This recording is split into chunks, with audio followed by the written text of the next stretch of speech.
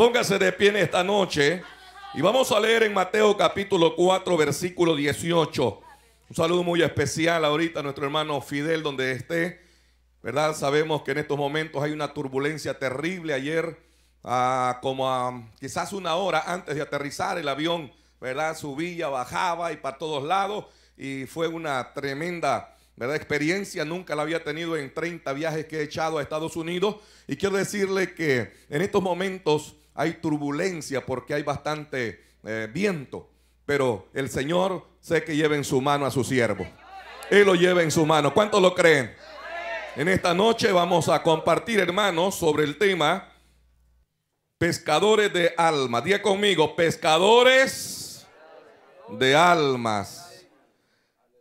Mateo capítulo 4, versículo 18, andando Jesús junto al mar de Galilea, vio a dos de sus hermanos, a Simón llamado Pedro y Andrés su hermano, que echaban la red en el mar. Día conmigo, echaban la red en el mar porque eran, digan conmigo, eran araganes, eran trabajadores, hermano. Y les dijo, venid en pos de mí y os haré que pescadores de tiburones, de ballenas. Porque hay algunos que parecen ya, ¿verdad? Ballena, ¿verdad? Y óigame, cuando Jesús le dijo, venid en pos de mí, os haré pescadores de hombre. Ellos entonces renegaron al instante. ¿Cómo dice? Dejando al instante que las redes, diga conmigo, le siguieron. Diga conmigo, le siguieron. Pasando de allí vio a otros dos hermanos, Jacobo, hijo de Zebedeo, y Juan, su hermano, en la barca que de Zebedeo, su padre, remendando qué? Las redes y los llamó. ¿Les predicó? No, les llamó nomás. Yo no tengo que predicar esta noche, ya voy a empezar a llamar a los amigos. Amén. Oiga, dice que solo los llamó. ¿Y qué dice la Biblia? Dejando ellos al instante la barca de su padre, día conmigo, le siguieron. Démosle gracias a Dios por esta palabra. Señor, muchas gracias por este hermoso y bello privilegio de adorar tu nombre, Señor, y ahora de compartir esta palabra. Te pedimos que ministres y bendigas, Señor, nuestros corazones para que seamos edificados a través de este consejo de esta noche. Bendice mis hermanos, bendice mis amigos y todos queremos ser bendecidos para bendecir a aquellos que necesitan de tu misericordia. En el nombre de Jesús, amén. Gloria al Señor. Pónganse cómodos. Y así le vamos a poner el tema, pescadores de hombres. ¿Cuántos han pescado? Vamos a ver, ¿cuántos ya han pescado? En el plato en el mar se llaman peces, en el plato se llaman pescado. Porque ya los pescó, ya los atrapó, ya los frió, amén. Ya está frito. Vamos a ver, algunos nos han pescado con atarrayas, otros con redes, otros con arpones, otros con cimbra, otros quizás con, eh, nosotros allá le decimos cordel, pero aquí es la caña, ¿verdad? Con anzuelo. ¿Y con qué pica aquí en Estados Unidos el pescado? Porque allá nosotros tenemos diferentes, ¿verdad? Carnadas. ¿Con qué pica aquí, hermano? Con camarón. ¿Con qué más? Lombrices. A mí siempre me ha picado con chile.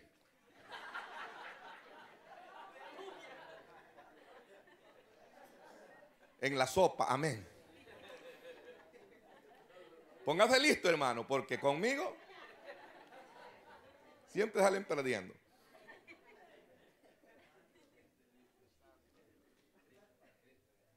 Quisiera esta noche hablarle sobre los hombres que Jesús llamó. Era gente ocupada. Diga, Dios siempre llama gente que le gusta trabajar.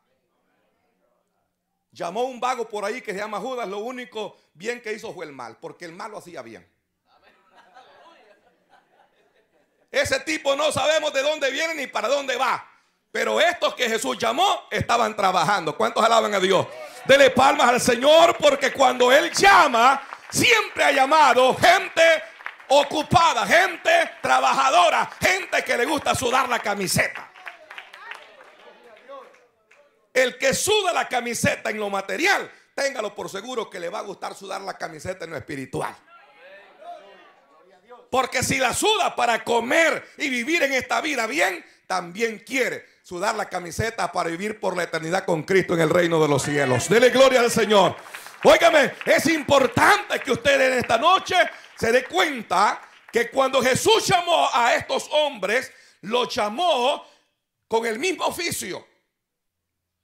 Ellos eran pescadores de peces. Ahora solo le cambió la palabra pescadores de hombres. Porque nosotros, ¿verdad? Estamos en el mundo, así como los peces están en el mundo, en el mar, el mar es tipo del mundo. Y aquí hay un montón de tintoreras, cuerpo espín, hay aquí algunas que son este tamaños tiburones, tamañas ballenas, amén. ¿Ah? Hay anguilas. La anguila, hermano, es una culebra, un pez culebra, y usted es bien lisa. Ah, usted tiene que agarrarla así con las dos manos, mira, así. Porque si la aprieta, se va para otra iglesia. Aló, si la aprieta, se va para otra iglesia. Así que hay que andarlo con cuidado, hermano, con cuidado la anguila. Amén.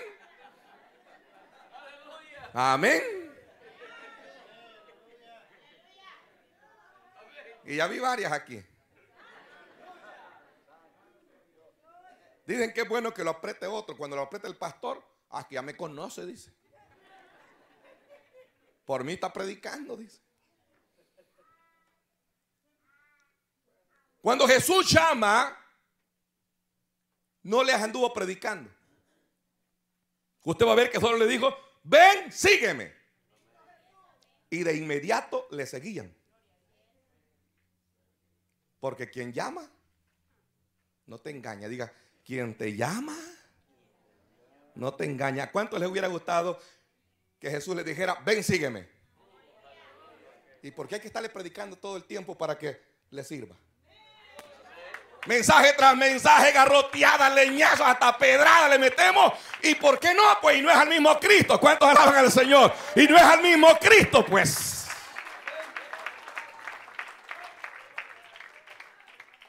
Cuando Jesús llamaba, ven, sígueme, dejaban el trabajo, hermano. Imagínense. Dejaron las embarcaciones, dejaron las redes, dejaron los peces, dejaron el dinero, la cuenta bancaria, dejaron las riquezas, dejaron las tierras, dejaron el ganado, dejaron todo por seguir a uno que no andaba ni cinco. No andaba ni sentado. Imagínese, él dijo que no tenía, mejor los pijullos, dijo, tienen nido, dijo. Dijo que los pijullos, las aves tenían nido y las zorras tenían una cueva. Y él, pero no iba una piedra para recostar su cabeza, no andaba, pero ni almohada.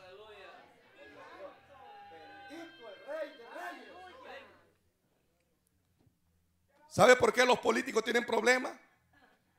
Y la gente lo sigue. Los políticos andan buscando de quién servirse, no a quién servir. Y Jesús dejó su trono de gloria para venir a ser nuestro sirviente, nuestro servidor. Dice que Él dejó el cielo para servirnos porque Él vino a buscar y a salvar lo que se había perdido. ¿Y quiénes somos nosotros para que un rey nos haya venido a buscar? Mire, cuando Jesús llama a estos, no le dijeron, eh, permíteme, voy a ir a vender las redes primero, permíteme, voy a guardar la embarcación, permíteme, voy... no, no, no. Dice que al instante, hermano, porque cuando uno siente el toque, el llamado de Dios, no ocupa de 40 mil mensajes, de, mm, de, una hora cada mensaje. Cuando uno es entendido a la primera palabra, entiende. Y si el Señor lo llama, Él no te engaña. Y si Él te promete, Él lo cumple. ¿Cuántos lo creen? Cuando yo acepté al Señor, nadie me evangelizó, nadie me llevó al templo, nadie me predicó. Yo un día dije, hay un cielo y un infierno. Y soy inteligente si evito el infierno y me gano la gloria. Me fui al templo yo solito, me agarré de la mano y dije, es tiempo ya que busques a Dios.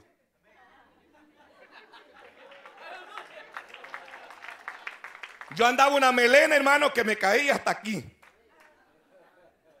Vivía frente a donde Marillita, mi esposa, vive y cuando las hipotías me miraba, así que decía, pero qué hombre más horrible.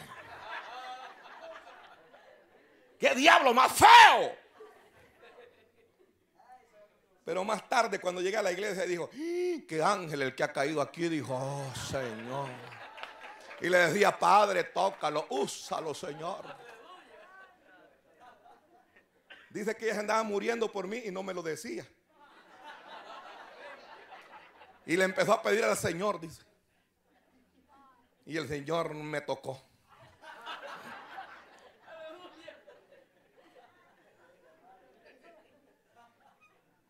Saquen las cuentas, eso fue el 81 que nos casamos. Yo ya perdí las cuentas.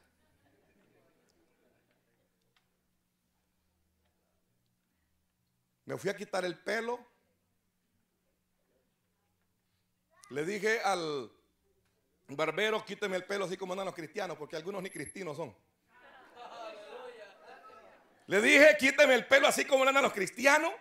Yo andaba una camisa manga sport. Fui a comprar, le dije a mi mamá, compre una, una camisita manga larga. El domingo fui a la cancha, yo era el que sacaba el pito y la pelota para estar en el campo todos los días entrenando. Mi mamá me botaba los tacos, me los escondía y así chuña me iba.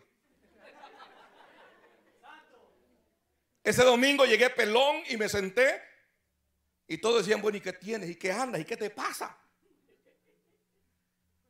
Y como yo hay cosas que no se las digo a nadie porque yo se las digo me desaniman.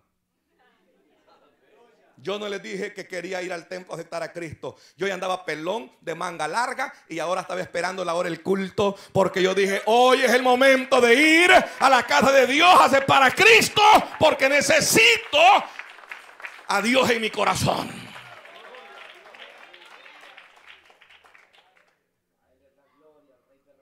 Hermanos, si habrá algo que usted y yo tenemos que aprender es que hay mucha gente que necesita de Dios. La mies es mucha, pero los obreros son pocos. Hay pocos que están pescando para Dios. Todo el mundo está pescando para su barco para comprar una buena casa, un buen carro, buena ropa, que no es malo, pero eso aquí se va a quedar. Eso aquí se va a quedar. ¿Cuántos lo creen?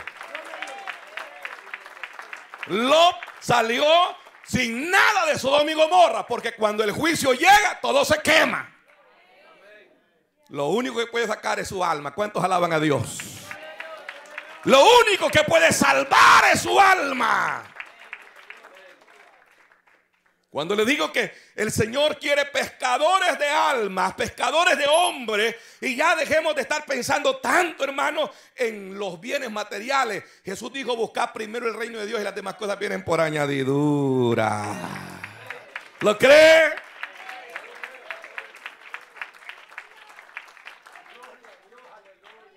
Después de los 50 años yo no los cuento porque 50, de ahí para allá no se cuentan. Después de los 50 yo ya perdí la cuenta, ya no sé cuántos más allá, ¿verdad? Pero yo tengo más de 50 y si, y, si cuento o contamos los que han pasado, ya pasaron varios. Y quiero decirle que Dios no me ha fallado. No me ha fallado ni me va a fallar porque estoy pescando para Él. ¿Cuántos alaban al Señor? Estoy trabajando para Él, Él trabaja para mí y así hay una bendición. Yo le sirvo a Él, Él me sirve a mí. ¿Cuántos alaban a Dios? Fíjese que cuando Jesús llama a estos a pescar, trata la manera de familiarizarlos siempre con el trabajo, con su profesión, con su ocupación. Yo era maestro de obra, ya no era un albañil común y corriente, era un maestro de obra, agarraba grandes contratas. A veces tenía hasta cinco casas a mi cargo, mucha gente trabajando. Hay una empacadora de camarones que eran dos solares grandísimos, lo construí y hasta unos cuartos fríos y todo el trabajo yo lo estaba dirigiendo, yo era el maestro de obra, yo ganaba mucho dinero. Y mire cómo Dios hace que uno se familiarice con el trabajo profesional, material, terrenal, con lo espiritual. Cuando el Señor me llama, inmediatamente también me hace lo mismo, me da, dice Amós, una plomada de albañil. Alaba al Señor. Por eso es que a mí me gusta usar la plomada. Él me dijo un día que les ponga la plomada primero a mí, a mi familia y luego a todos los que me oyen. Que les ponga la plomada de albañil. ¿Cuántos alaban a Dios? Que les ponga la plomada, el nivel y la escuadra. ¿Cuántos dicen amén? Y como yo conozco las herramientas, las sé usar, pues las estoy aplicando de lo material a lo espiritual. De un edificio de paredes de concreto, ahora al edificio que es la casa de Dios, el pueblo de Dios, la iglesia. Dice que Él es la piedra angular del ángulo, la piedra fundamental del ángulo. Él es la fundación. Y dice que vayamos poniendo ladrillo o piedra sobre piedra, que quiere decir cristianos con cristianos unidos trabajando para qué? Para el reino de los cielos. Si usted es ama de casa, hace limpieza, barre, hace, eh, lava la ropa, lo mismo. Cuando usted agarra la ropa y dice a ponerle, ¿verdad? Mano, le echa jabón, le echa rinzo, le echa lejía, hasta ver la ropa limpia. Pues venga aquí también a la lavandería, que aquí siempre se le lava la ropa. Amén. Por eso es que las amas de casa son regañonas, regañan al marido, regañan a la suegra, regañan al perro, regañan a los hipotes, regañan al vecino, al tiendero y a todo el mundo. Porque trapean con todo lo que agarran por delante. Amén. Una gran trapeada que le meten a todo el mundo. Porque siempre nosotros somos, tenemos la tendencia de relacionar nuestra ocupación nuestro trabajo diario. Quiero decirle que Jesús llama a hombres sencillos. Ya habían escuelas, ya habían rabinos, ya habían sinagogas, ya habían eh, super intelectuales, ya habían, oígame bien, doctores. Pero ¿por qué llamó? gente sin preparación académica. Pedro dice que era del vulgo, no quiere decir que era analfabeta ni sabía leer. Eh, del vulgo es que solamente sabía A, E, I, O, U, A, B, C, H, D y sabía escribir su nombre, eh, sabía, ¿verdad? Firmar. No quiere decir que era redondo. Por lo menos yo aprendí a leer y escribir, no soy tan redondo.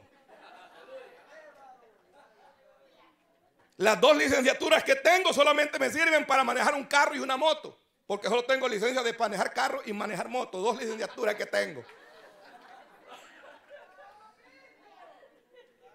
Cuando saqué la licencia me dijeron licenciado, me dijeron. Y yo creo que yo soy licenciado.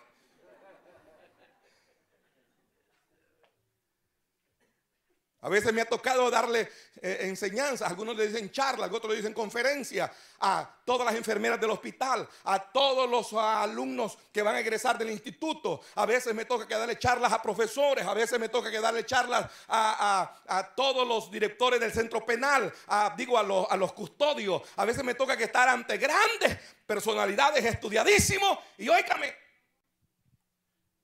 A veces ellos dicen, discúlpeme Mire, me da permiso. Mire, me da la palabra.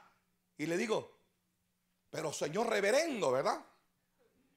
Señor licenciado, señor doctor, señor abogado. Si yo apenas aprendí a leer y a escribir. Pero ¿por qué tiembla tanto para pedirme la palabra? ¿Por qué cree usted que Jesús no empezó a llamar grandes intelectuales? Llamó personas del campo, mm, personas del mar, personas de, que trabajaban tras el ganado, mm, llamó gente mm, del monte, llamó gente analfabeta, gente pobre, gente humilde. ¿Por qué pues?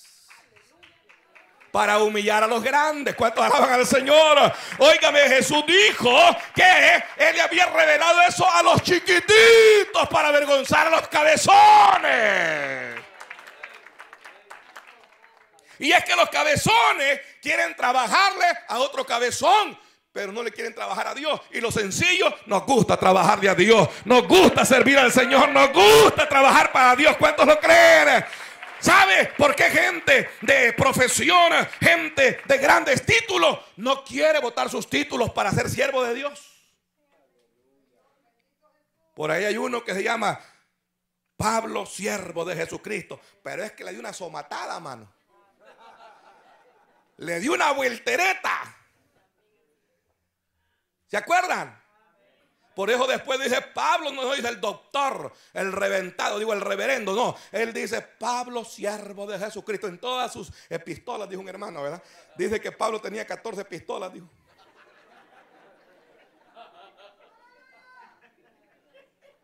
Oiga, en todas sus epístolas o sus cartas, la introducción siempre es Pablo, siervo de Jesucristo. Porque un día lo aventó al suelo y le dijo, ¿quién eres, Señor? Le dijo. Me has puesto quieto, le dijo, ¿quién eres? Yo soy Jesús, le dijo. Estoy a tus órdenes, le dijo, dime todo lo que quieras hoy en adelante. Estoy dispuesto hasta morir. ¿Cuántos alaban a Dios?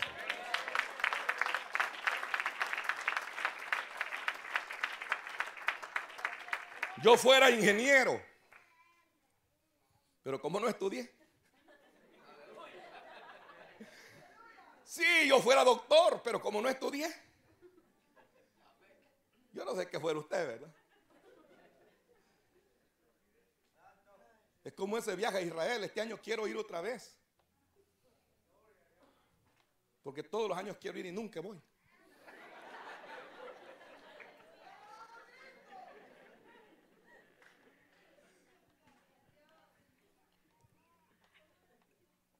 Quiero darle tres métodos para que usted aprenda a pescar. No se acostumbre solamente a la campañita, al grupo de crecimiento. La campaña solamente la hace el pastor con el predicador y los invita a ustedes. Y la gran campaña, pero ni un alma trajeron. Los grupos de crecimiento, oh, tenemos 20 grupos de crecimiento y solo ve el líder y el anfitrión porque no se puede ir porque está en la casa. Amén. Pasó el año y ni un alma. ¿Me oyeron? Levánteme la mano cuántos trabajan. Porque el que no trabaja roba. Vamos a ver cuántos trabajan. Vamos a ver cuántos trabajan. ¿Ya recibieron el cheque? Hasta se lo comieron ya. Ya lo deben. ¿Cuántos trajeron un alma hoy? ¿Ah? ¿Cuántos se ganaron un alma este mes? Vaya, le voy a dar un año. ¿Cuántos se ganaron un alma el año pasado? Con que se me estaba perdiendo la milla, dijo usted.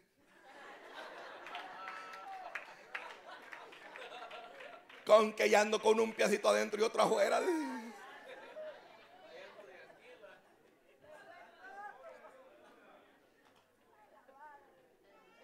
Si así como usted busca trabajo, buscar las almas.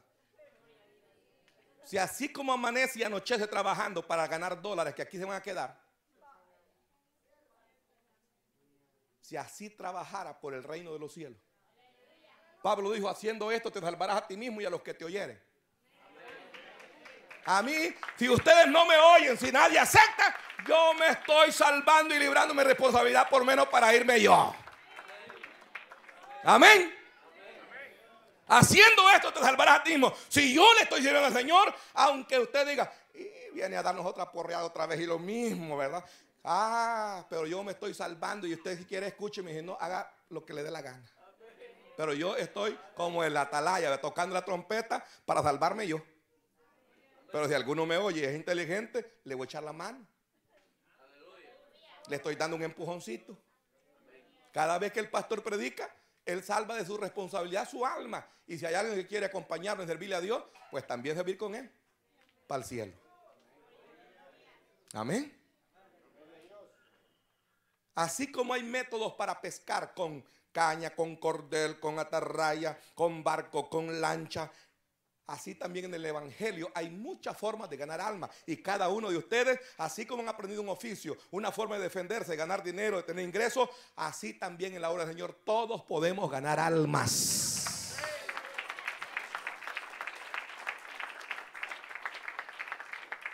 Me dice un amigo mío, Marenco, eh, quiero que vayamos a la, al Potomac, al río, y vamos a llevar mi lancha. Y la, mm, ¿verdad? Llevó con su carro, entramos y empezaron ellos con sus cañas a pescar. Y al ratito, unos huilines. Y como creen que los pastores somos tontos, me queda viendo. De gusto se está soleando, me dijo, agarra este cordel, me dijo, y tírelo, me dijo un cordel hecho coca y enredado que tenía. Pero tenía un anzuelote así y le puse una carnadota grande. Al ratito traía el primer bagre de esos así barbones, Y al ratito otro y otro. Y ellos solo sacando juilines. Y se me queda viendo y me dice, óigame, y usted me dijo que sabe pescar. Yo nací y crecí a la orilla del mar. Yo sé pescar con atarraya, con anzuelo, con arpón, con redes allá por el lado de Honduras, Nicaragua, en la zona del Cuco, allá por todas aquellas. Óigame, todo eso lo he andado pescando. He andado con careta, buceando, sacando langostas, sacando ostras. Y cuando saqué el primero me dice, cachiripa, me dijo. y cuando le digo, el agua quieren mojar ustedes. ¿Saben por qué ustedes solo sacan juilines? Miren el hilo que le han puesto a la caña y miren el anzuelito y la comidita que le pone. Es para pececitos bebés. Y miren el cordel que me dieron. Como que era una manila, como que era un lazo. Y después de eso el gran anzuelo. Entonces la carnada era grande y la boca del pezote que llegó era grande y lo otra vez.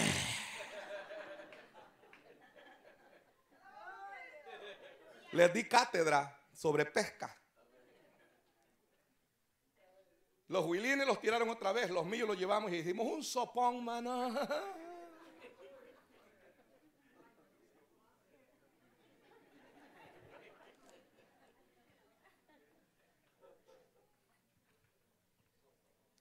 ¿Sabe que hay muchos que van a pescar y no pescan nada? No tienen experiencia no saben trabajar, no saben cómo pescar. Por eso es que cuando alguien va, debe tener conocimiento del trabajo para que le funcione y produzca. Dice la Biblia que cuando Pedro salió, óigame, toda la noche había pescado y el Señor le dijo, Pedro, boga mar adentro y tira la red a la derecha. Y le dijo, Señor, toda la noche hemos pescado, Tú no sabes nada y nos vienes a enseñar de pesca. Nosotros aquí hemos nacido y crecido. Pedro, tú eres pescador, yo soy el dueño de los pescaditos, yo los hice. Pedro, que no se te olvide, Pedro, que yo los hice y a mí me obedecen. Ve y tírala a la derecha. Entonces en tu palabra la voy a echar. ¿Cuántos alaban a Dios? En tu palabra voy a echar la red. Y cuando la echó, hermano, ya tenía Dios listo aquel montón de 153 grandes peces, pero de esos grandes. Y dice que cuando los atrapó, las redes y, la embarcación se, mire, hundía. Entonces dijo, funden otras iglesias porque aquí ya no caben. ¿Cuántos alaban a Dios? Funden otras iglesias porque esta embarcación, este templo es chiquito. Hay que levantar otra en Houston y para allá va el pastor ahorita. ¿Cuántos alaban a Dios? A poner allá otra piedra de la iglesia remanente fiel. Alaba al Señor, hermano.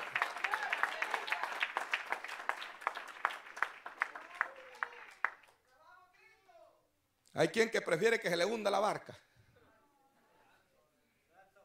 Hay quien que dice, no, cuidadito, ¿verdad? Con una filial, con otro grupito, mejor que se hunda la barca. Y se le van a perder los peces porque se va a hundir. Qué bueno es, hermano, que nosotros aprendamos cómo pescar. Yo tengo ya varios años de estar pescando. Anoche fui a una iglesia, cuatro almas aceptaron al Señor. Un matrimonio una señora ahí que llorando pasó y un joven. Hermano, mira qué bonito es ver un alma venir a los pies de Cristo. Si usted se alegra cuando su señora sale embarazada y se vuelve loco porque ya viene el primer problema. Un niño demandó a la mamá, la llevó a, la corte y dice el juez, ¿y qué pides? Mi mamá dijo, cuando yo no hablaba, dijo, Ay, quería que hablar y hoy que hablo solo callando me anda. Mi mamá quería que caminara y hoy que corro solo sentado me tiene, dijo. Así es que la demando, dijo.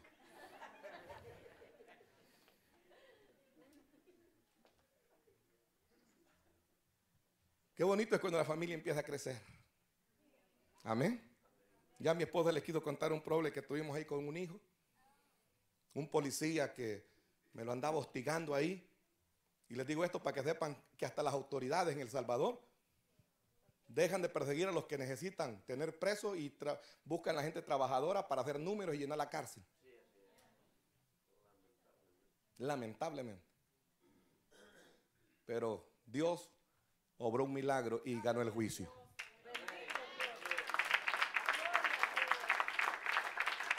Y oiga esto, hermano. Cuando hablamos de cómo ganar almas, le voy a dar tres ejemplos y tres métodos muy sencillos para que todos ganemos alma. Y si hay 100 miembros, otro año pueden haber 200. Si hay 200, el otro pueden haber 400. ¿Por qué? Porque si cada uno se empeña en ganar un alma en un año, ¿me oyeron? Y aquí no estamos diciendo lo del G12, que eh, G13 es porque eh, está uno que dirige los 12, ¿verdad? Entonces no son 12, son 13. Y el número 13 es satánico. ¿Sabían ustedes eso? ¿Sabía usted que los satanistas no se sientan en el, asiento número 13, eh, no suben la escalera número 13, saltan a la 14, no, se, mm, no quieren estar en el edificio número 13 eh, porque ellos tienen la mentalidad de Freddy el brujo del viernes 13, ¿verdad?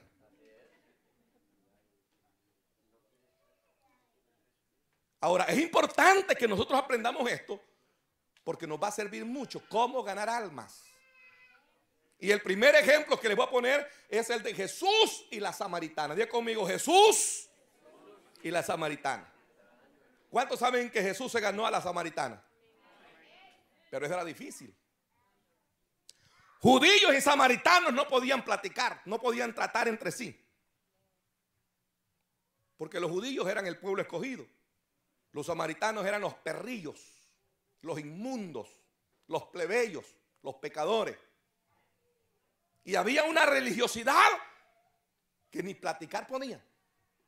Pero Jesús de tal manera amó al mundo. ¿Por qué? Porque para Él no hay griego ni, ni judío, para Él no hay hombre ni mujer, para Él todos somos iguales. De tal manera amó Dios al mundo que dio a su Hijo unigénito para que todo aquel que Él crea no se pierda, mas tenga vida eterna. Ahora que Jesús llega al pozo, le pide agua. Mire el evangelismo personal, así le llamo yo, el evangelismo personal. ¿Cómo debe de empezar? Hablando de lo conocido y luego trasladándose a lo desconocido. Mujer, dame agua. Y ella se le queda viendo y ve que judío. Le dice, tú y yo no podemos platicar. Algunos cristianos son tan santos que no pueden dirigir la palabra a un pecador. Ya tienen plumitas y alitas que no se pueden contaminar platicando con un borracho porque le va a pasar el...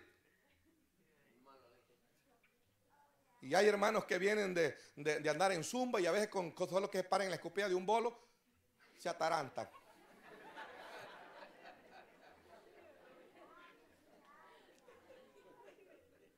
Caen fondeados.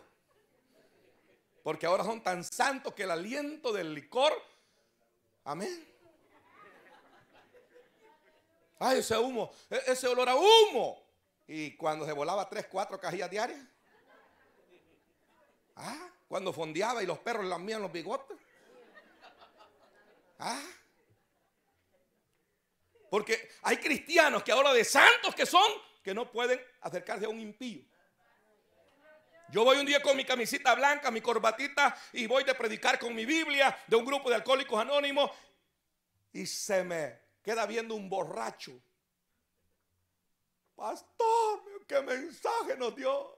Pastor, qué bonito consejo. Y se va y me abraza y empieza a limpiarse los mocos, hermano, en la camisa blanca. Pastor, me llorando, me abrazaba.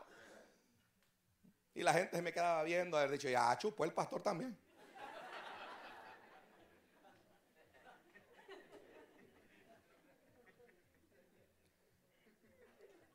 Jesús le dice, mujer, si yo te pido agua, yo tengo una mejor agua. ¿le- ¿Cuántos lo creen? Esta agua que tú tomas te va a volver a dar sed, pero la que yo te voy a dar nunca jamás volverás a tener sed. ¿Cuántos alaban al Señor? Porque ríos, ríos, ríos de agua viva correrán de tu interior. Entonces la mujer le dijo, dame esa agua, le dijo. Y Jesús se quiso ir un poquito más allá, le dice, ¿y tu marido? Le No tengo, dijo, pero mire, mire cómo es la, la- mujer que le quema las patas al marido. No, le dijo, no tengo. Y te lo juro por Dios, y ahora no tengo otro marido, no tengo. Y Jesús le dijo, mamá le dijo, cinco has tenido y estás con uno que no es tu marido, le dijo. ¡Ja! Parece que eres profeta, le dijo. Porque hay gente que espera que el profeta le venga a declarar todos los chanchullos que andan. Y tenemos una conciencia que es el juez inseparable que nos dice lo bueno y lo malo, hermano. No espere que venga un profeta a sacarle los chirrangos al sol.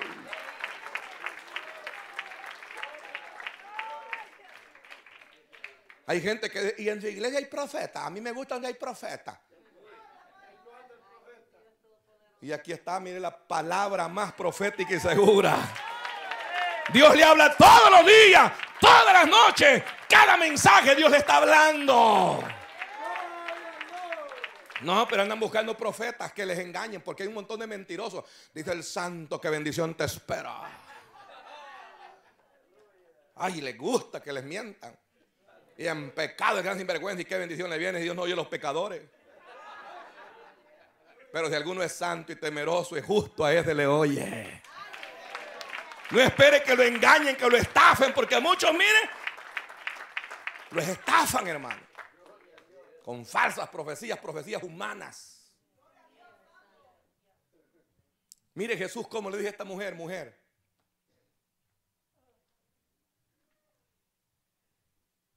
Yo te voy a dar agua. Y le dice, pero el pozo es hondo, ¿cómo vas a sacar? No. Yo necesito un lazo para sacar del agua que te voy a dar. ¿Cuántos alaban a Dios? Mira, el agua natural te vuelve a dar sed todos los días. Por eso es que el borracho busca agua, pero de la que está ardiendo. Y todos los días. Ajá, todos los días. Porque le vuelve a dar sed. Y le vuelve a dar sed. Y él dice, es que es la goma. No, es la sed del, de- del vicio. Mm, dice un hermano, de los orines del diablo. Dice. Así le llama al guaro, orines del diablo. Dice, Dice que las cervezas son orines del diablo. Dice. Qué feo, ¿verdad? Qué feo. Y aquí es cuando nosotros tenemos que aprender, hermanos, cómo evangelizar a una persona. Nunca venga, ¿verdad? Con palabras extraordinarias, palabras escatológicas, palabras hermenéuticas, palabras profundas, de grandes interpretaciones. No, tenemos que ser tan sencillos que nos entienda un niño. Cuando yo fui al instituto bíblico, yo soy graduado en teología. Cuando yo fui al instituto me dijeron que predicara de tal manera que me entienda un niño. Yo les puedo explicar el Apocalipsis, yo les puedo explicar eh, profundidad de, la hermenéutica, ah, puedo hablarle mucho de escatología y puedo hablarle de grandes profundidades, pero usted se va a ir al diccionario a buscar a ver si es verdad lo que dije. El comentario de Matthew Henry, a buscar allá eh, los comentarios de grandes escritores. Entonces usted va a decir, y, nos habló como aquel evangelista mm, americano que llegó eh, a, México con un intérprete y empezó a hablar de los cosmonáuticas y empezó a hablar de las estrellas, empezó a hablar de los soles, empezó a hablar de todas las órbitas y empezó a hablar de la inmensidad del universo y empezó y cada vez que levantaba las manos y hablaba profundidades, el intérprete decía el gran amor de Dios que tiene para con nosotros. Cuando Él vino del cielo a buscar a los pecadores y cuando Cristo venga en gloria y nos lleve al cielo. Entonces, cuando hizo el llamado, pasó la gente llorando a los pies del predicador y dijo, oh, yo sabía que con este astronáutico mensaje toda la gente iba a venir al altar. Y el intérprete le dijo, no, mister. Ni una palabra de lo que usted dijo en inglés. Se la dije en español, ¿verdad? ¿Sabe qué le dije? Que Dios les ama y por eso vinieron llorando al altar de Cristo.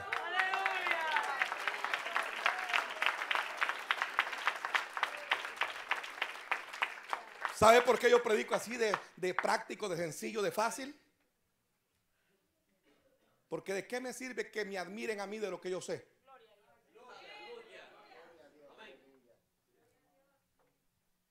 Pero no les presenté el amor de Dios o a Cristo.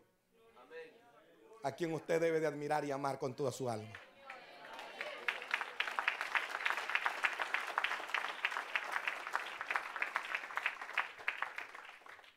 Los predicadores cabezones solo tienen audiencia cabezona.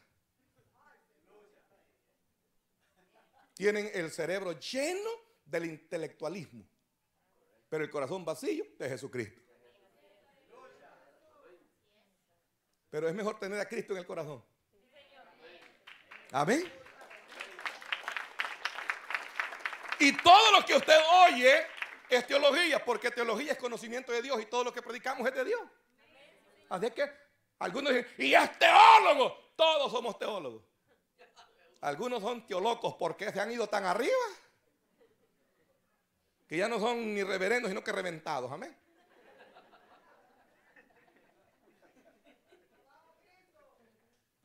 Al pecador hay que presentarle el Evangelio de tal manera que lo entiendan y sea tan sencillo como esta mujer que cuando oyó un Evangelio tan práctico, tan fácil, al grado de que ella dejó su cántaro y salió corriendo y dijo, he encontrado a Jesús, el Mesías. Dejó su cántaro y se fue a Samaria. Y cuando llega, la ven transformada. Y las mujeres dijeron: ¡Ey! Ya no es la quita maridos. A las 11 de la mañana, a la hora que los bueyes y las vacas y los animales van por el agua al pozo, es la que había ella escogido porque en la mañana y en la tarde iban todas las mujeres decentes. Pero cuando ella iba a esa hora, la agarraron del pelo y barrían la calle a la quita marido. Entonces iba con las vacas y los caballos al pozo. Y a esa hora pasó Jesús. Y cuando le evangelizó, de lo conocido, la llevó a lo desconocido. Amén. Usted puede hablar de todo el mundo, ¿Y cómo está la situación, verdad, hoy en Estados Unidos? Ah, sí, mire que está duro usted. Y mire, este hombre ha hecho temblar el mundo entero. Pero viene otro que va a hacer temblar a toda la humanidad, hasta los diablos del infierno, y se llama el anticristo, diga. Y cuando él venga, esto va a estar más duro, dígale, amén. Mire usted, será verdad que los van a echar a todos. Sí, dígale. Pero es más peor que, mire, va a ser más peor cuando le echen al infierno, dígale, mire. Ah, mire, ahorita le van a echar de, su, de este país que no es suyo para su país, usted va para su casa. Pero cuando de su casa le meten al infierno, allí no es su casa. ¿Me están oyendo? Así de sencillo, así de práctico, así de fácil. La gente en la desesperación busca platicar, busca desembuchar, busca llorar, hermano, busca llorar. ¿Y como usted qué? Usted diga, ni soy de allá ni soy de aquí, yo soy de allá arriba. A mí no me interesa, diga, ni El Salvador, ni Honduras, ni Guatemala, ni México. A mí me interesa el cielo. Amén. A mí no me interesa Estados Unidos, a mí me interesa la gloria. ¿Cuántos lo creen? Como que bajaron los amenes porque algunos como que este país es el cielo ya.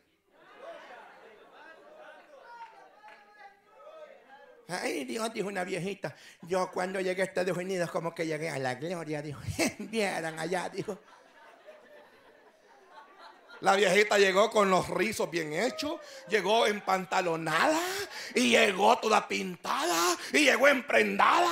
Y cuando el pastor le dijo, pero hermana, le dijo, qué transformación, le dijo, qué cambio, le dijo. Es que cuando uno llega a Estados Unidos, viera como que está en la gloria. Mire, los hermanos en la iglesia lo llevan a uno y le compran todo esto. Y mire, allá las iglesias no son como aquí. Si aquí uno no se pone eso porque no tiene pisto, le digo. Aquí no se pone todo eso uno porque aquí andante alcanza para los frijoles. Pero viera allá, los grandes montones de ropa barata. Ya usted hasta la regalan en la calle, sacan los pocos a botar llaves. Eso lo dice ahí el papel.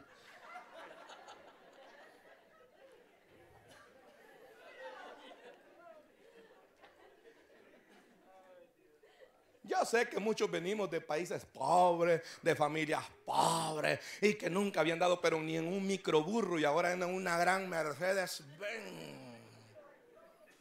Y más cuando mira una muchacha y dice ven.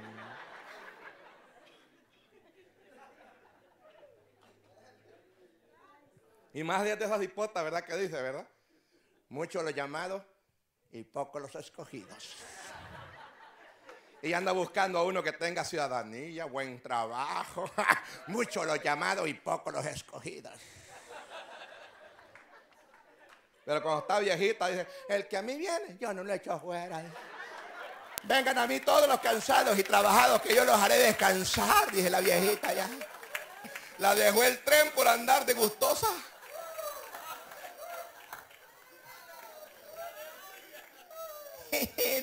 Yo cuando estaba joven, dicen, viera cómo era de codiciada, ya qué chula era. Viera.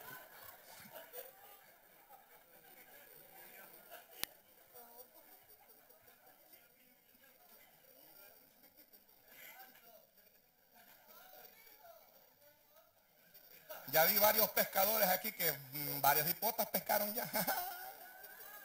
ya vi varios que son buenos para pescar bichas, ¿verdad? Con ese Mercedes Benz.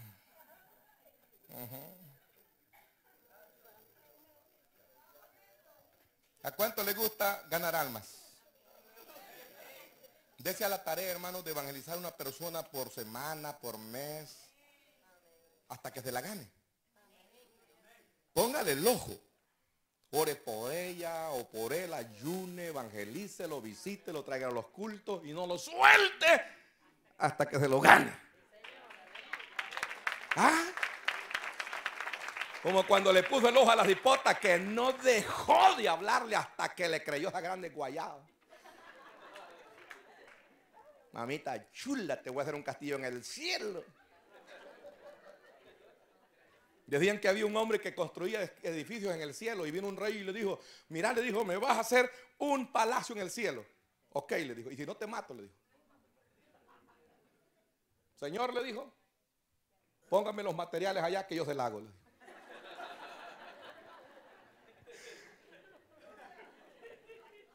Se salvó, mano. Así van a salir algunos de aquí, ¿verdad?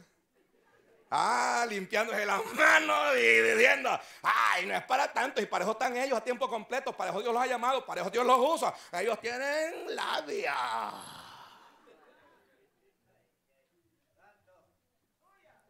Cuando el Señor lo llame, le decir, te di un talento y ¿qué lo hiciste? Mm, allí va a ser el lloro y crujir de dientes. ¿Cómo detrás de un trabajo sí que anda? Mire, la gente cuánto estudia, hermano, para una profesión. Carreras largas, estudios. Imagínense si entran 200 a estudiar a ingeniería o un arquitecto, solo de los 220 salen graduados. Entran 100 para estudiar medicina, un doctorado, de esos 100, 10 logran salir. Porque es difícil, es una carrera dura. Pero ¿cómo es que se sacrifican para coronar una carrera? Tan solo para tener un buen carrito, una buena casita y una cuenta bancaria. ¿Por qué no sacrificarnos y esforzarnos por ganarnos un alma para Cristo? Y un día el Señor nos va a decir, bien buen siervo y fiel. Amén, hermano. Bien buen siervo fiel. En lo poco me has sido fiel, en lo mucho te pondré. ¿Sabe usted a quién le van a dar la corona más grande? Porque alguien dice que el hermano Gigi es uno de los predicadores más grandes que han existido. Y alguien dijo, al hermano Gigi le van a dar la corona más grande. No, a mí porque soy más cabezón. La cabecita allí era chiquita, la mía es más grande, así que la corona va a ser más grande. Así que no se preocupe a quién le va a dar la más grande. Lo importante es que vayamos un día al cielo. Lo importante es que un día entremos a las calles de oro y el Señor nos diga, hijo, ¿cuántas almas ganaste? Señor, tenía como 3 millones de dólares en el banco. No te estoy preguntando eso. Hijo, ¿cuántas almas ganaste? Señor, tenía tres casas de esas de lujo de Estados Unidos. Y tenía una en El Salvador, otra en Honduras y tenía otra allá a la la playa. Es que no te estoy preguntando eso. ¿Cuántas almas te ganaste? Señor, fíjate que tenía cinco carros. Aunque los debía, Señor, pero yo con la fe que un día me iba a venir en el rapto y iba a quedarse allí en la jarana, ¿verdad? Cuando el Señor le llame, no le va a preguntar cuánto hizo materialmente, le va a preguntar cuánto hizo espiritualmente. ¿Me oyeron? No le va a preguntar cuánto tiene, sino cuánto usted hizo para el Señor. Y esta noche, empiece por usted. Porque muchos van a hacer puentes, van a pasar a otro y hoy se van a quedar. No, el asunto primero empiece por usted, que esté consagrado y como las vírgenes prudentes con la lámpara encendida para cuando Cristo venga nos fuimos. Amén.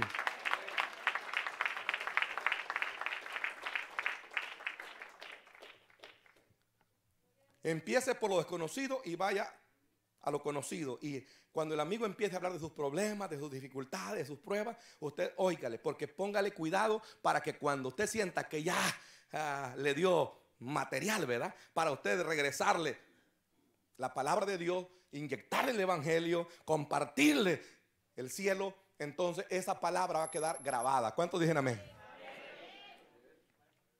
Un muchacho que tocaba la batería en la iglesia, en una de esas quemazones, ¿verdad? Se fue y estaba un rótulo en una pista de baile donde decía necesitamos baterillistas. Y vio para afuera si no había algún hermano. Sí, porque se hacen siempre ahí cuando van al TikTok, cuando van ahí a la, a, disco, ven para afuera y no anda el pastor, ¿verdad? Y el pastor no anda ahí, hermano. No, no, no está pensando que el pastor y los diáconos andan ahí. Y cuando entró, dijo, yo soy baterista, ay, ya, pa, pa, pa, dijo a tocar y, dijo el baile, ¿verdad? Y cuando terminó la fiesta, todos borrachos y todos ahí mm, ya eh, buscando su parejita, y quedó una mujer que no halló para ella. Y cuando vio al baterista dijo, ese está guapo, dijo, ese está bien chola, dijo, y se le acercó. Óyeme guapo, le dijo, y tú no tienes pareja. Cristo te ama, le dijo. ¿Se acordó que era creyente? Cristo te ama, le dijo. Cristo me ama, eh, Cristo me ama, eh, Cristo me ama, eh, Cristo me ama. Y después fondió allá en la mañana, Cristo me ama, Cristo me ama. Bueno, ¿y qué es eso? Dijo, Cristo me ama. A mí nadie me ha dicho que me ama, dijo. Solo me abusan y me usan y nadie me ha dicho que me ama. ¿Y quién es de Cristo que me ama? Ah, he oído decir a los creyentes que Cristo ama. Y se va a un templo. Y estaba el hermano de la batería ahí en el templo.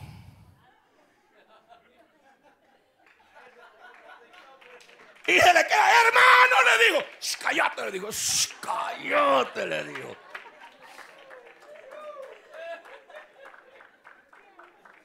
Y le dije, pastor, ¿quién es ese Cristo que me ama? Y el pastor le dio la palabra, la aconsejó, la evangelizó, la instruyó en la palabra y aceptó a Cristo y Dios la transformó. Óigame, una palabra, Cristo te ama,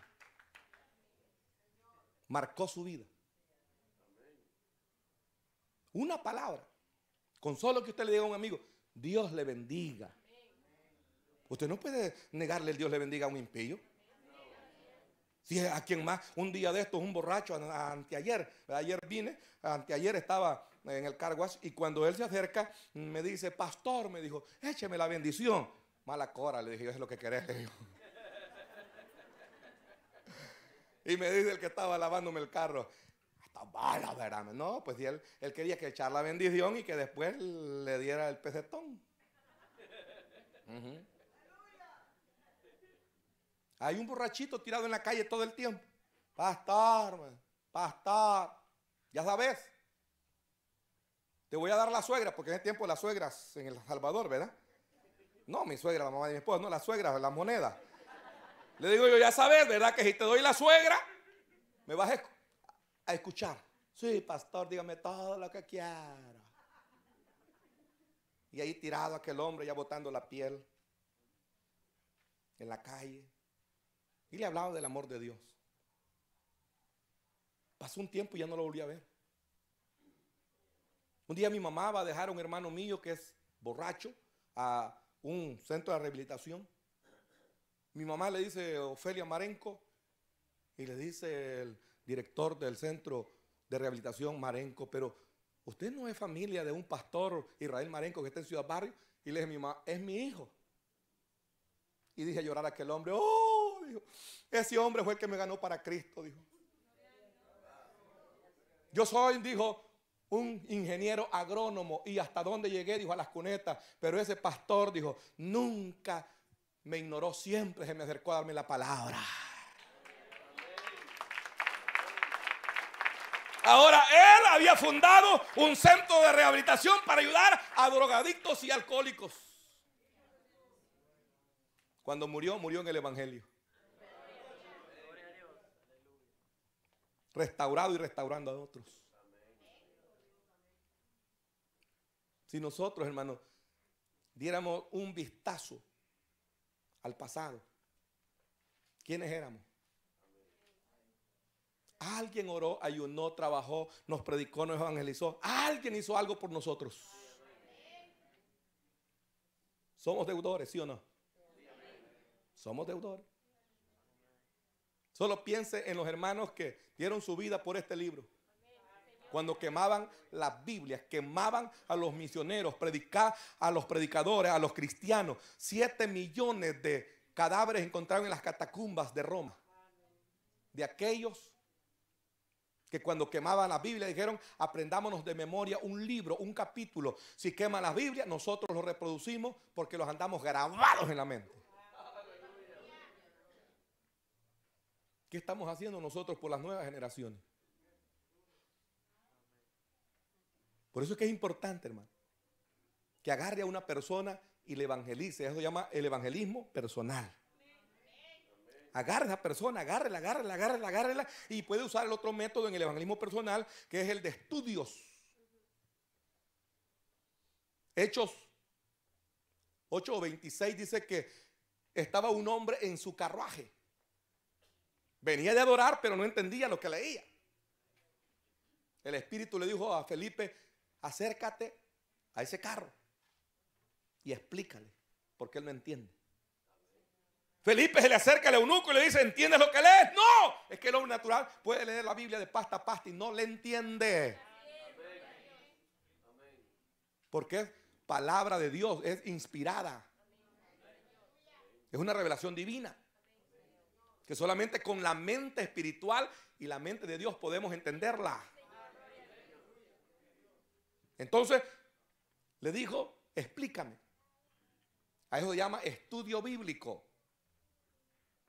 Cuando usted evangeliza a una persona de lo que va saliendo, usted lo va comparando, le va eh, impartiendo la palabra, le va aconsejando, le va dando seguimiento, pero aquí es diferente. Cuando empieza a leer el texto, ahora tiene que interpretarle, decirle, cuando lee el capítulo 53 de Isaías, dijo, ¿y esto de quién se refiere? ¿Del profeta o de algún otro hombre? Entonces le dice, este fue Jesús. Ya estaba profetizado todo lo que iba a hacer y iba a pasar. Entonces esto y esto y esto y esto pasó en su vida, en su ministerio. Él murió y resucitó y se fue al cielo a preparar un lugar para nosotros para ahora llevarnos.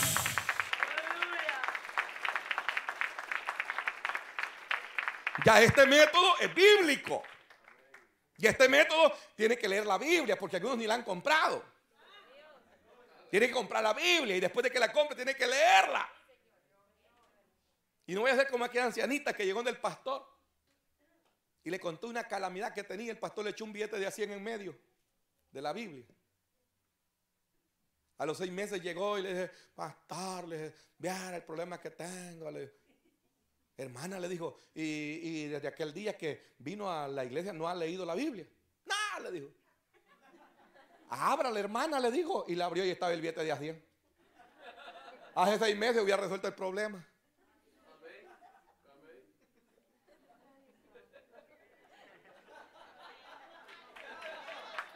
Oiga, oiga. Su problema ya a tiempo era resuelto si leyera la Biblia. Un borracho un día lo encontró por ahí alguien y le dijo, mira, te voy a dar dos dólares, llevarte este saco a la casa. Varios kilómetros, aquel con el gran saco cargado. Cuando ya lo tiró en el patio, vaya, déjeme los dos dólares. Espérate, le dijo, abrió el saco y dijo, sacar los dos dólares. Más le dijo. Imagínese el borracho dijo, ay Dios, Dios hubiera abierto el saco antes, dijo.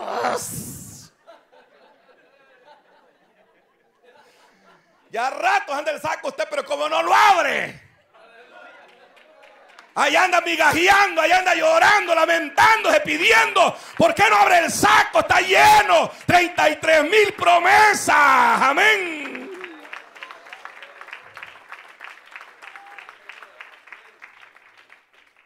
Allá anda el saco.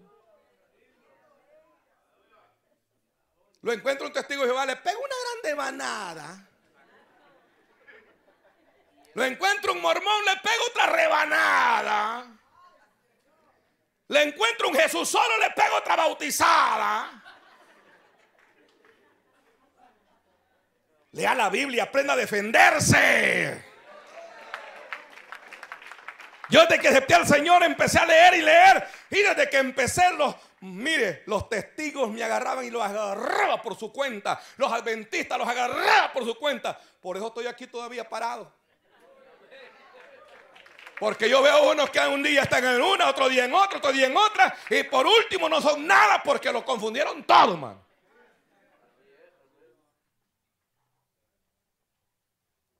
Cuando Felipe le enseñó las escrituras, el que creyera y fuera bautizado, este será salvo. Entonces dijo, ¿y qué impide que yo sea bautizado? Óigame, después de un estudiazo, aquel estaba tan convencido que se dejó bautizar ya. Hay gente que lleva cinco años y todavía no ha podido bautizar. Hay gente que todavía después de dos, tres años no se ha podido bautizar. Como no lee la Biblia ni a los cultos viene para que se le enseñe. Amén. Lea la Biblia, hermano, en su casa. Deje de ver tele, apague el Nintendo, apague el, eh, internet, eh, apague el teléfono, apague todo y póngase a leer la palabra. ¿Cuántos alaban a Dios? Aprenda a leer la palabra, lea la palabra, en la palabra. Y cuando un pecador se le acerque y empieza a enseñarle la Biblia, la palabra, empieza a disipularlo, ay hermano, esa persona no tardará en traérsela para la iglesia. Pero es de eso que, como Juancito, ¿verdad? Juancito acepta, se cae, reconcilia, se cae. Y un día se ha reconciliado y lo encuentro chupando en el Parque de la Unión. Y cuando me ve, se acordó que era creyente. Hermano, me dijo. Ay, que lo veo, usted me, acuerdo que soy cristiano. Me dijo, ay, disculpe, me dijo que estoy chupando, me dijo.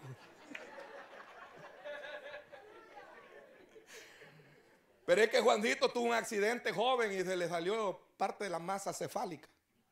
¿Usted cree que ahí anda todavía? ¿Aló?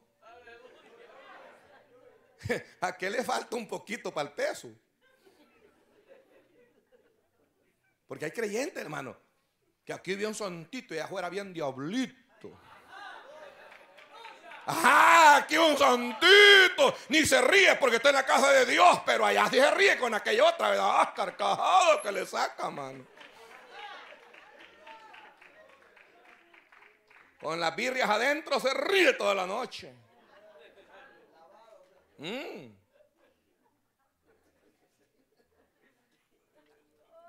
¿Cuántos saben que la Biblia es pan para el alma? Es el mapa del viajero. Es la espada del soldado. Léala para ser sabio. Vívala para ser santo. Y créala para ser salvo. Diga conmigo, léala para ser sabio. Vívala para ser santo. Y créala para ser salvo. La Biblia, hermano, es un tesoro. ¿Sabe cuánto costaba hace muchos años? El salario de un año de un escriba. El salario de un año. No cualquiera puede tener una Biblia. Por eso es que Constantino mandó a sacar 50 copias y él las pagó para regalárselas al pueblo, a la iglesia. Porque era tan cara que no cualquiera podía tener una Biblia. Pero ahora, andan un pedazo de Biblia, pero un lujo de teléfono.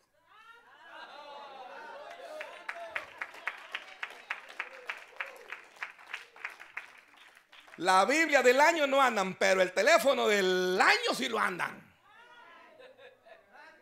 Una Biblia de estudio no tienen, pero un teléfono de esos de último modelo si lo tienen. Aló. Y no me miren así, hermano, con los ojos, por favor.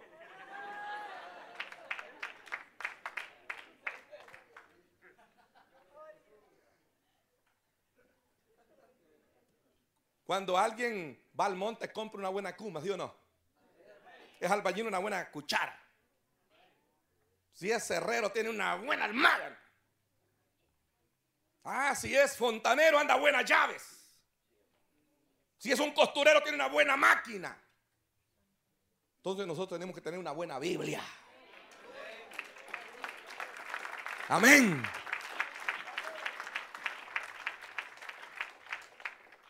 Primero lea la Biblia para usted.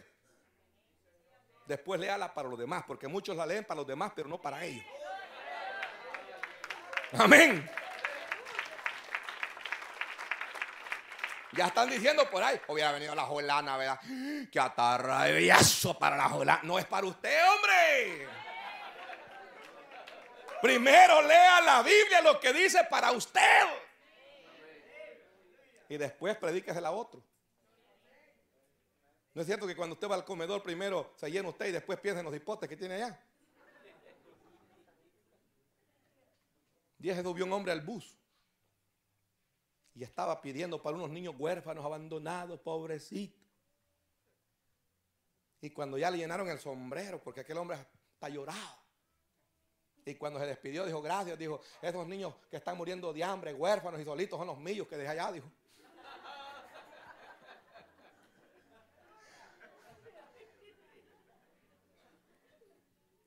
Qué bueno es cuando usted piensa en tu familia.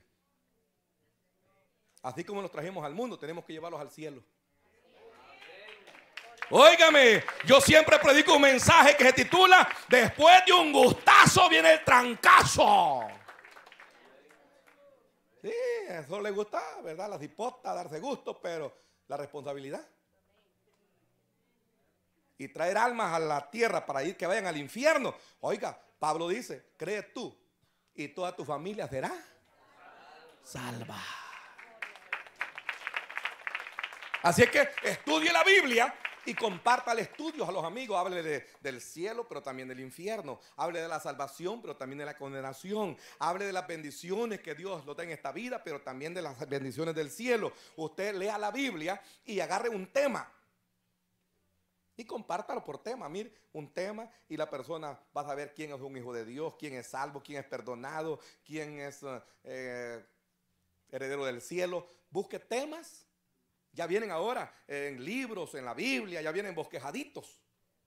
Estúdielo y compártalo, estúdielo y compártalos. El día que no hay culto, vaya de un amigo, de un familiar, de un vecino, de un amigo, a darle un estudio. ¿Me oyeron? Y es que la palabra no volverá vacía. Después de que usted le compartió el Evangelio, esa persona va a quedar pegada. Le voy a dar una estrategia cuando está pescando. Mire, cuando uno está pescando con caña o cordel, anzuelo, uno deja que el pez llegue. Que llegue, que llegue, que llegue. Y él está tanteando la carnada. Cuando siente ya que, que, la carnada entra en la boca, entonces le pega un solo y la muerde y se lleva la carnada y se va. Entonces el pescador que es inteligente le da cuerda. Que se vaya. Y él dice, me fui, ya llevo la comida. Pero cuando se cansó y ya uno siente que ya no hay resistencia, entonces, venga, chepachurreino, papita. Entonces uno le pega solo y lo empieza a traer y ahí viene bien quietecito, mm, lo sube, tranquilito. Hay amiguitos que necesitan eso. Agarra la carnada. Cuando ya oyeron la palabra, esa palabra no volverá vacía. Y déjelo que se vaya, pero un día viene. ¿Cuántos alaban al Señor? Viene porque viene, viene porque viene. Y lo último es que Dios usa las circunstancias. Diga conmigo, Dios usa las circunstancias. Cuando Pablo está preso, canta a la medianoche, oran. Y cuando ellos están ahí, ¿verdad? Con las cadenas, ¿verdad? Y con los tepos un rocazo que se echaron esos bárbaros ahí. Rock and rollero, Pablo y Sila, ¿verdad?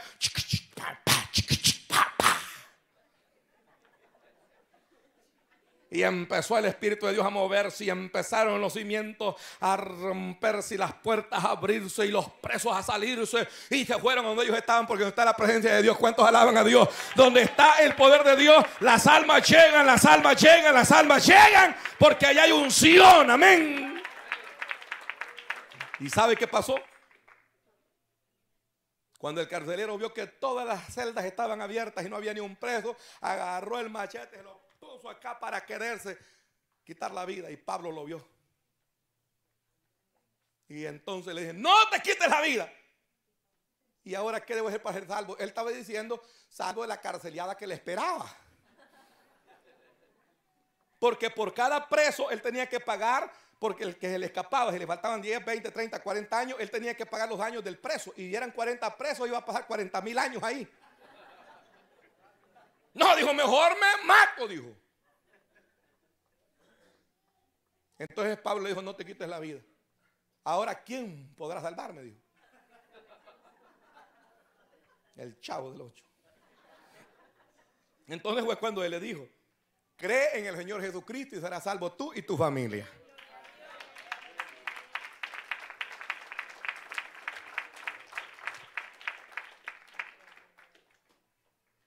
Sé que muchos hemos tenido que llegar al Evangelio después de un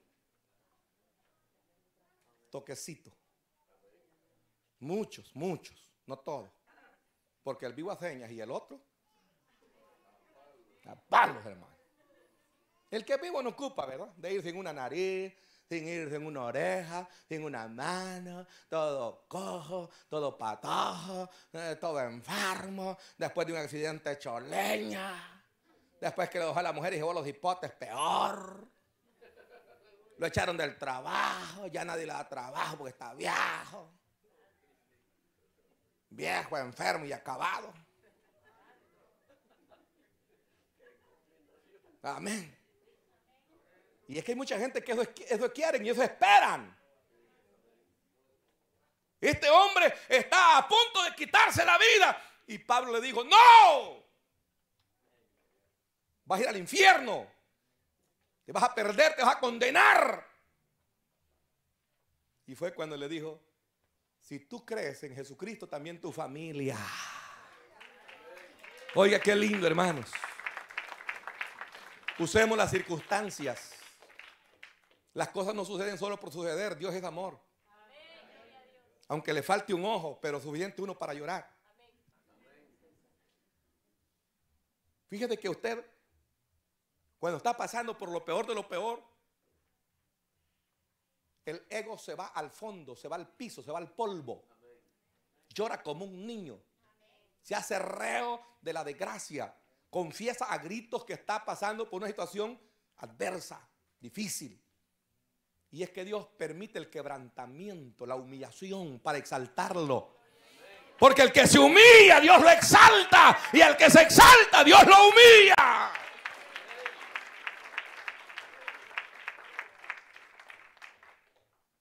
Mientras estaba estudiando era pastor y estudiaba. Cuando dejó el estudio y egresó de doctor, dijo, hasta aquí Biblia, pastorado. Y hoy dijo, voy a ganar plata, voy a ser rico y voy a darle gusto al bote y hacerle de todo molote. El día de la graduación se dio vuelta y vuelta el carro y se mató el que iba al par de él, que era hijo de un pastor. Y ahora que él está imposibilitado en una silla de ruedas, le dijo, Señor, si tú me levantas de esta silla de ruedas, dejo de ser doctor y me vuelvo predicador. Y estaba un evangelista en un estadio. Se llama Manuel Ávila. Yo le he escuchado predicar a un tremendo, no sé si estará vivo todavía, pero lo escuché hace muchos años. Creo que es de Puerto Rico, un hombre que Dios lo usa. Y dijo, en ese edificio está uno en una silla de ruedas.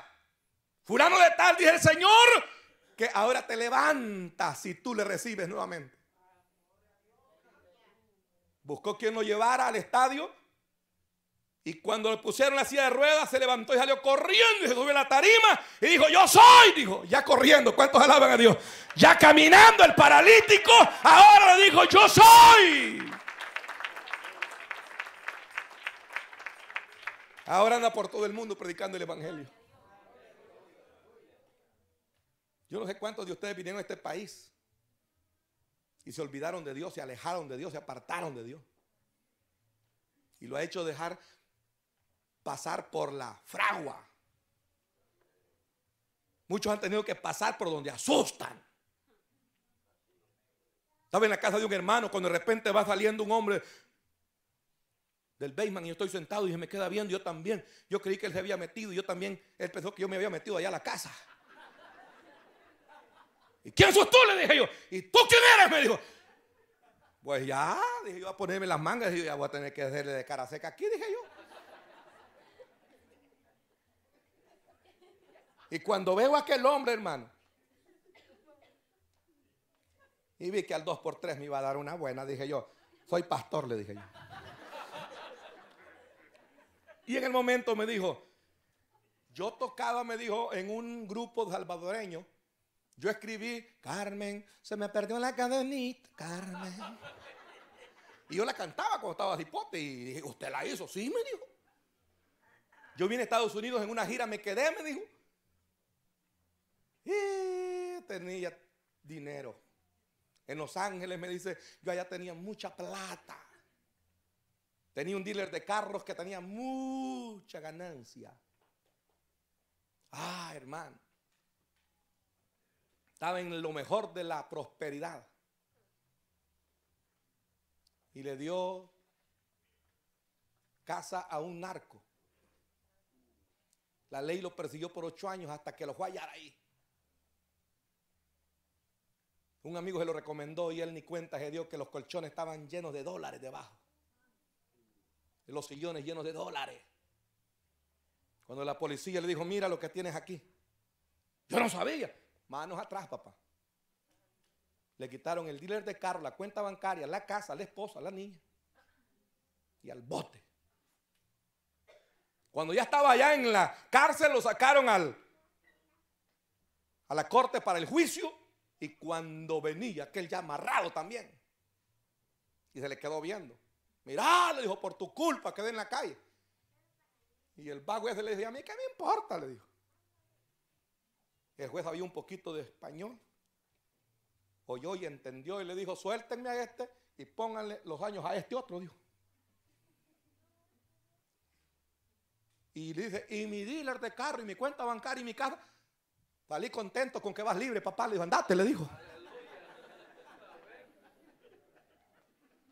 En Los Ángeles, me vine para Maryland, me dice. Aquí fue cuando lo encontré y me dijo. Pero ya llorando, yo también lloraba más que él, hermano. Porque me había salvado de la buena. Y cuando él está llorando, yo también estoy llorando, conmovido de escuchar su historia. Me dice, mire dónde estoy. Y ahí estoy de gratis porque no tengo cómo pagar. Pero no llore, me dijo, porque no estoy llorando de lo que perdí. Estoy llorando del gozo que siento porque solo así fui a una iglesia, acepté a Cristo y ahora soy el hombre más feliz, la persona más dichosa. ¿Por qué no entendí esto antes? ¿Por qué no entendí esto antes? ¿Por qué tuve que pasar por ahí para entender esto?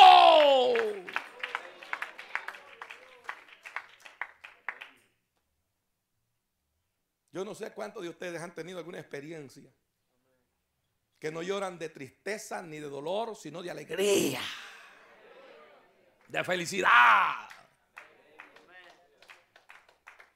Pero muchas veces tiene que apretarnos el callo, Dios. Porque después no va a hacer el callo, lo va a agarrar de pies y manos y lo va a echar a las tinieblas de afuera.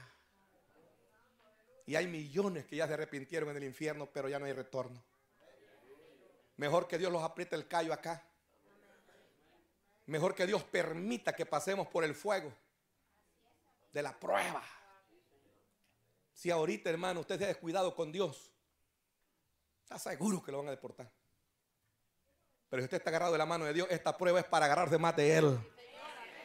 Y después le va a dar la gloria al Señor, porque solo con Dios es posible, dice Pablo, todo lo puedo en Cristo, porque Él me fortalece.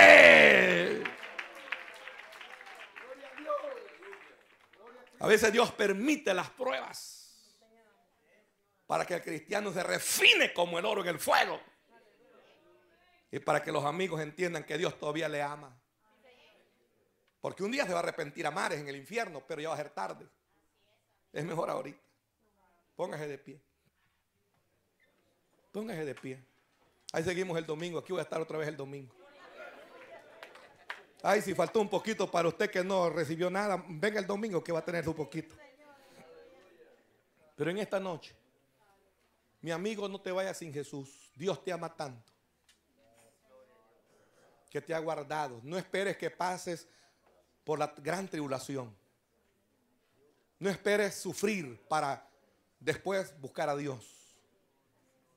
No esperes tener que pasar como este hombre.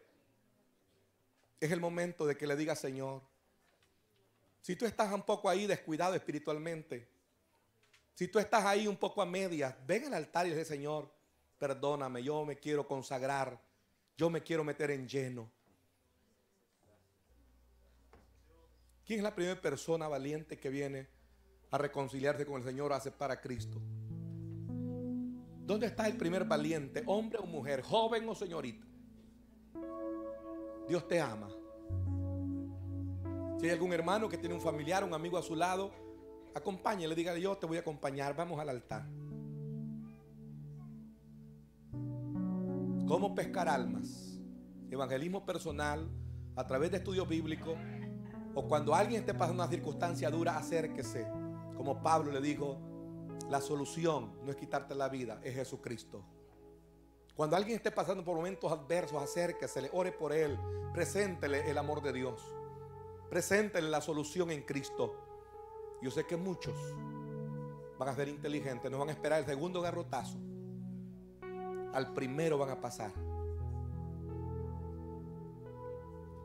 Todos los hermanos cierren los ojos, los que lo tengan abierto los voy a hacer pasar acá, porque yo sé que los amigos aunque algunos cierran los ojos para que no los invite, ¿verdad? Pero el que no es hermano todavía en Cristo, yo quiero hacerle un llamado personalmente para que hoy eche manos de la vida eterna. Dios te ama. Dios te ama. Dios te ama. Dios te ha traído a este país y te ha guardado. Porque te ama. Quiere salvarte.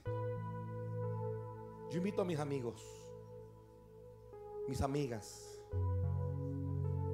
que tomen una decisión muy importante esta noche. El mensaje es una enseñanza para los hermanos para que pesquemos, pero han, han, venido varios pececitos que el Señor quiere también atrapar esta noche. No sé si aquí el joven que está aquí al frente ya aceptó a Cristo. Aquí, hermano. ¿Sí? El que está allá al par del hermano de camisa rosada, ya aceptó al Señor. Yo quiero orar por usted. Dios le ama. La iglesia le ama. De un paso de fe al altar, véngase. Amiga, amigo, esta es una noche de salvación para tu alma. La iglesia, dígale, Señor, perdóname que no he trabajado como debería trabajar en tu obra. Piensa en el nombre de una persona en esta noche y dígale, Señor, de en adelante. No voy a dejar de orar, de evangelizar, de invitar a fulana o fulano. Póngale el nombre y dígale, Señor, este año quiero ganarme esa persona para ti. Este año quiero ganarme un familiar, un amigo, un vecino, un compañero de trabajo, de estudio. Es el momento que se comprometa con Dios. Póngale el nombre. Póngale esa persona. Dicen que es bueno hablarle a las personas acerca de Dios, pero es mejor hablarle a Dios acerca de las personas. Primero presénteselo al Señor y después preséntele al Señor a la persona. Y se va a dar cuenta que es eficaz. Ore por ese esposo, por esa esposa, por ese hijo. No importa que esté en otro país, no importa la distancia, no importa dónde esté su familiar. Es el momento de decirle, Señor, salva a mi familia. Yo sé que Dios le ha puesto esa carga en su corazón es porque es usted el indicado de orar, de ayunar, de evangelizar, de mandarle una ayuda a esa persona. Porque eso es cuando las circunstancias, cuando las pobrezas y las enfermedades llegan, en el momento usted le va a dar la mano. Usted le va a presentar a un Dios de amor. Ella va a ver que el Evangelio no es solamente palabras, son hechos. Gracias hermanos, nos vemos el domingo. Dios les bendiga, nuestro hermano con nosotros. Y ahí tenemos unos discos, ¿verdad? Para que usted se los lleve. Dios les bendiga.